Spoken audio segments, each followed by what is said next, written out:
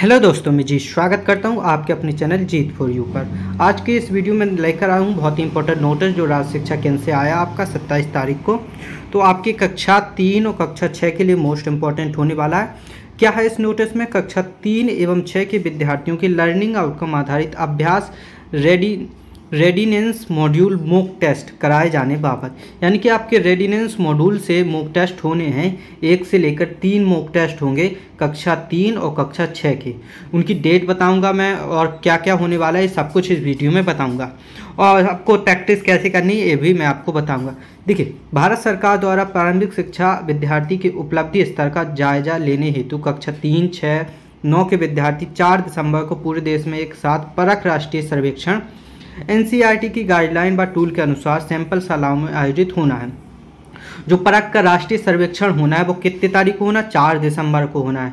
कितने तारीख को? चार दिसंबर को। और कौन कौन सी कक्षाओं को होना है? तीन छः और नौ की कक्षाओं के लिए होना है। किस किस के लिए? तीन छः नौ। और आपको मालूम ही होगा कि आज अपना अट्ठाईस तारीख को नौवीं कक्षा का मुक टेस्ट है। तो देखिए मुक टेस्ट इसमें नौवीं के लिए नहीं बताएगा लेकिन मैं बता रहा हूँ कि आज नौवीं के मुक टेस्ट है। इसमें आपको बताया गया है कक्षा तीन और कक्षा छः के लिए कि आपके मुक टेस्ट कौन कौन से होंगे और कौन कौन से विषय होंगे।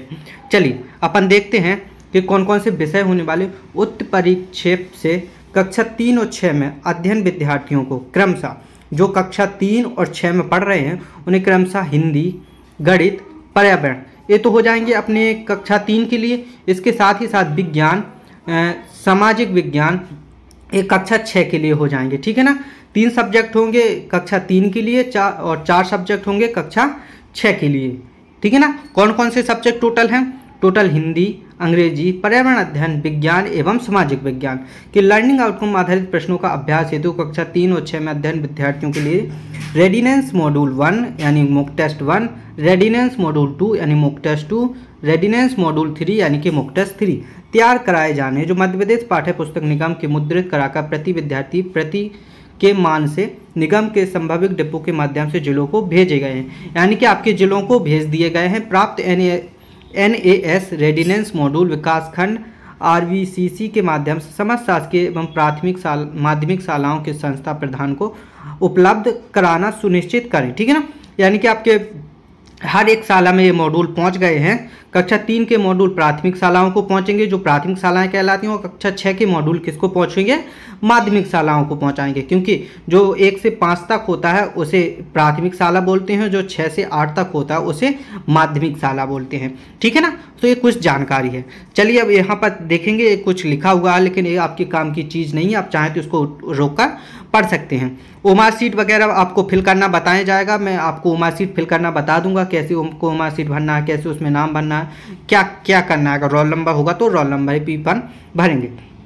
चलिए, यहाँ पर देखते हैं अपना टेस्ट कौन कौन से डेट को होने वाला है। N S resident module one यानी कि मोक टेस्ट वन होगा आपका 30 सितंबर से लेकर तीन अक्टूबर के मध्य।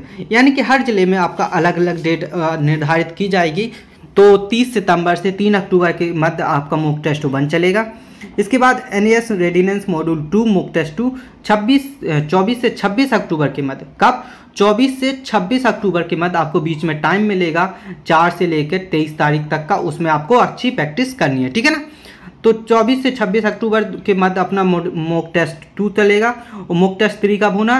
अट्ठाईस से तीस नवंबर के मध्य। कब? 28 से 30 नवंबर। यहाँ गलत लिख गया है 2024 है। क्या है 2021 दिख रहा है? लेकिन ये गलत प्रिंट हो गया है 2024 है। तो यहाँ पर आपको आपकी मोड टैक्स की डेट भी बता दी, मैंने आपको सब्जेक्ट भी बता दिए कौन कौन से आएँगे और कहाँ से आएँगे रेडिनेंस मॉड्यूल से आपका पेपर आएगा, जो कि आपके साला में पहुँच चुके हैं। ठीक है ना? अगर इससे रिलेटेड आपके पास अगर कोई और भी डाउट है तो आप कमेंट करके पूछ सकते हैं। इसकी पीडीएफ फ़ाइल के लिए आप क्या कर सकते हैं। मेरे टेलीग्राम चैनल को ज्वाइन कर सकते हैं। टेलीग्राम चैनल का नाम है जी फोर यू वहाँ पर आपको इसकी पीडीएफ फ़ाइल मिल जाएगी। वहाँ से जाकर आप इस पीडीएफ फ़ाइल को डाउनलोड कर सकते हो और अच्छे से पढ़ सकते हो। इन, इनकी डेट को अपने पे पेन एंड कापर कॉपी में लिख कर अपने सामने चिपका लीजिए। ठीक है ना? ताकि आपको पता रहे कि कौन सी डेट को कौन सा मॉक टेस्ट है। तो अब आपको क्या करना है? इस वीडियो को लाइक करना है चैनल को सब्सक्राइब करना ताकि हर आने वाली वीडियो का नोटिफिकेशन आपको मिल सके। मिलते हैं ऐसी ही अगली वीडियो में, तब तक के लिए धन्यवाद।